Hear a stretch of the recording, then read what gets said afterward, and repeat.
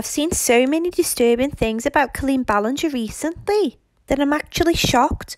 I can't believe that she's been getting away with this sort of shit for so many years. Like, I'm pretty sure if she was a man, she would have been held accountable long ago.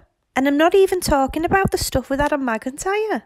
That's bad enough as it is, but let's look at some of the other stuff she's been doing. I firstly want to talk about the books that she published. They were based on the perspective from her character, Miranda Sings, and obviously her target audience is children. But let's have a look at some of the stuff that's in it.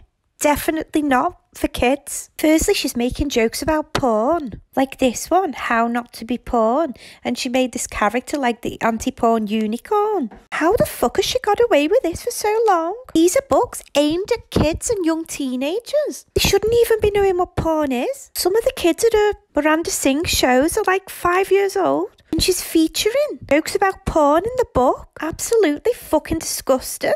And even more disgusting is the inverted comma jokes she makes about child abuse. First, let's have a look at this picture she put of herself when she was a kid. I'm talking like toddler age, where she's photoshopped a vagina onto her underwear. What the fuck is that about? What what sort of sick person does that? Why would it even cross your mind to do that?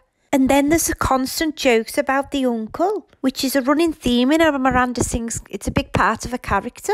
It's sort of insinuated that she's being taken advantage of by her uncle, but she doesn't know and she's just like making light of such a serious situation. Like this page where there's pictures of her pretending to sleep, one with her mouth open, one with her bum in the air, saying that these are good sleep positions and that these photos were taken by her uncle, feigning the innocence of a child who thinks her uncle's taking nice pictures of her when she's sleeping. But it's obvious to any adult that she's insinuating is like a predator. That's not a joke, is it?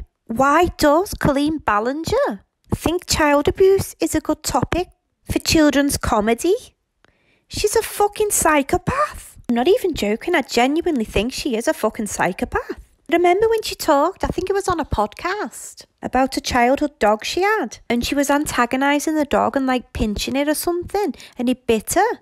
And then they got the dog put down, and she was like proper proud of herself. Well, she still thinks it's funny to make jokes about animal abuse. Have a look at these from her books. This first one is like her doing some homework. You have to put a word after the word Miranda is. And she's put, Miranda is me, Miranda is me, Miranda is me, Miranda is choking a cat. What the fuck? Why is the first thing she thought of that she thought would be funny is choking a cat? Animal abuse isn't funny, you fucking knobhead. Then there's this one where she's talking about flushing a hamster down a toilet on purpose. She also did another one where she'd said she'd flushed a snake down the toilet or something like that. How is that humour?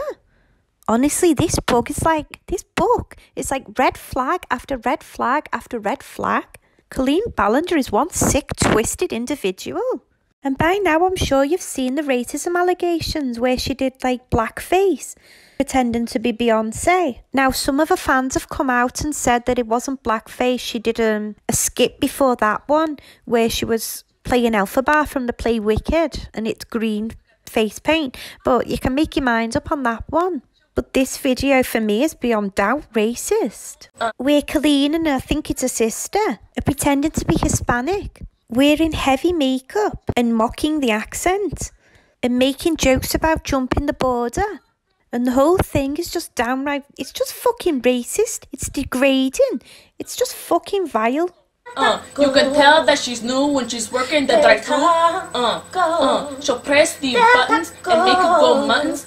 Honestly, at this point, nothing would surprise me that comes out about Colleen fucking Ballinger. She is one narcissistic piece of shit. And for anyone who's still supporting her, you need to get your head checked. I can't believe she's got away with these things so long.